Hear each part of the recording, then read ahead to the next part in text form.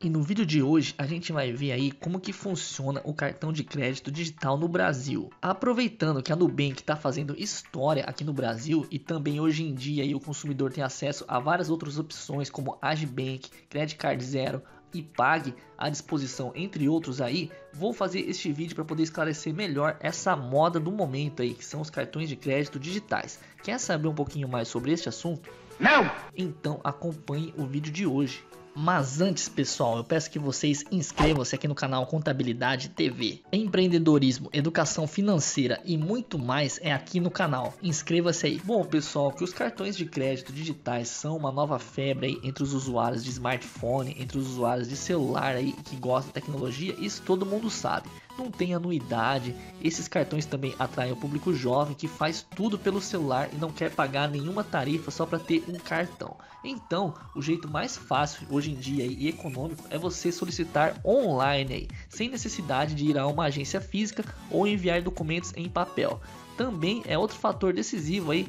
Tudo isso, essa facilidade para crescente adesão aos serviços digitais de cartões de crédito. Desde o lançamento do Nubank, lá no ano de 2015, o mercado brasileiro viu assim proliferar os aplicativos de banco digital com oferta de cartão de crédito sem anuidade. Como eu já disse nesse vídeo, tem Agibank, Credit Card Zero e Pag. Esses daí são apenas alguns dos principais nomes que vêm ajudando a mudar o comportamento dos clientes de instituições de crédito. Então, sem mais enrolação, vamos ver aqui a vantagem e a desvantagem aí, e as características do cartão físico contra o cartão virtual. Bom, quando se trata de cartão de crédito digital, o erro mais comum é confundi-lo com o cartão de crédito virtual. Embora tenham nomes praticamente iguais, né, são bem parecidos os nomes, os serviços são totalmente diferentes. O que é chamado de cartão digital nada mais é do que um cartão comum, físico, tal como que você já tem aí do seu banco, né? É aquele cartãozinho de plástico mesmo que você já tem. Agora, a diferença do cartão digital para o tradicional está principalmente na forma de solicitar, que é toda online. Além disso, né, a ausência de taxas de manutenção é uma característica comum a todos os serviços do tipo aí, mas a aparência e forma de utilização é a mesma do velho cartão com anuidade pedido numa agência bancária. Agora, o cartão virtual, por sua vez, é um recurso para fazer compras pela internet de forma mais segura ele possui um número diferente do cartão físico, assim como data de validade e código de segurança. Por existir apenas virtualmente, ele é gerado imediatamente pelo aplicativo e pode ser apagado também a qualquer momento. Então, assim, o cartão de crédito virtual é o melhor cartão é para você fazer compras pela internet, né? Já o cartão de crédito físico, né, ou digital aí, é o mesmo cartão de crédito que você já está acostumado a usar, só que sem anuidade. Bom, vamos ver aqui como que funciona a abertura de conta pela internet. A velocidade e a falta de burocracia para abrir conta em uma plataforma digital é o grande diferencial, é o grande trunfo desse tipo de serviço. Principalmente pela questão de você não ter que ficar enfrentando filas em banco aí, né? Então hoje em dia esses bancos digitais como o Nubank, o Agibank, o Pag, o Credit Card Zero, eles trazem aplicativos para o seu celular Android, né? Que a maior parte das empresas usam celular Android, né? Samsung, enfim, Sony, um monte de empresa aí fabricante de celular tem Android e também tem o iPhone, né, com o seu iOS, por onde o cliente faz todas as operações financeiras. Então, assim, eu vou tentar resumir para você, né? Os aplicativos eles pedem para que o usuário forneça dados pessoais, né, como CPF, RG, endereço e telefone, além de dar informações de renda e profissão. Daí, os sistemas também pedem o envio de uma selfie e a digitalização dos documentos que são registrados para análise. Daí, o cartão de crédito é emitido caso o usuário seja aprovado nessa avaliação, que considera se a pessoa está negativada e outros dados financeiros. Vale dizer, pessoal, vale lembrar que o Nubank e Credit Card Zero permitem que os usuários realizem o cadastro inicial pela web. No entanto, todos eles exigem a instalação do aplicativo no celular, por onde é possível monitorar gastos, conferir é, o que você tem que pagar de fatura, fazer transferências e controlar também as transações de maneira em geral.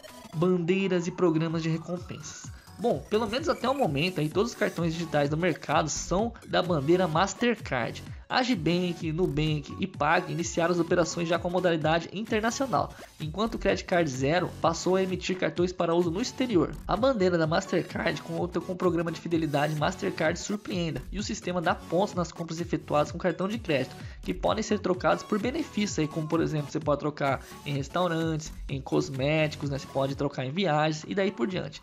No entanto, a participação não é automática e é preciso se cadastrar no site do programa para começar a acumular os seus pontos.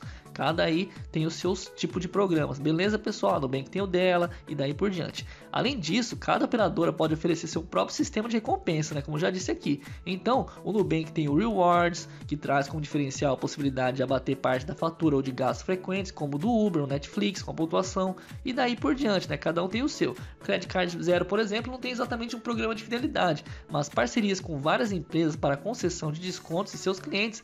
Entre as companhias afiliadas estão Uber, Credit Card Hall, tem a Decolar.com, Netshoes, Extra, Magazine Luiza e daí por diante, né? São várias empresas que participam desse programa de parceria, de todos eles aí. Bom, e quais são as instituições por trás dos cartões digitais? O maior banco por trás de um cartão digital atualmente é o Itaú Unibanco, responsável pelo Credit Card Zero. Os outros três serviços tratados aqui neste vídeo são brasileiros. Por exemplo, o Agibank é o novo nome comercial do Agiplan, que é um banco fundado no Rio Grande do Sul. Já o Pag pertence ao grupo Avista, que é uma instituição financeira sediada lá em Barueri, no estado de São Paulo. E o Nubank nasceu como startup já com esse nome na cidade de São Paulo, né? Então é mais ou menos isso aí.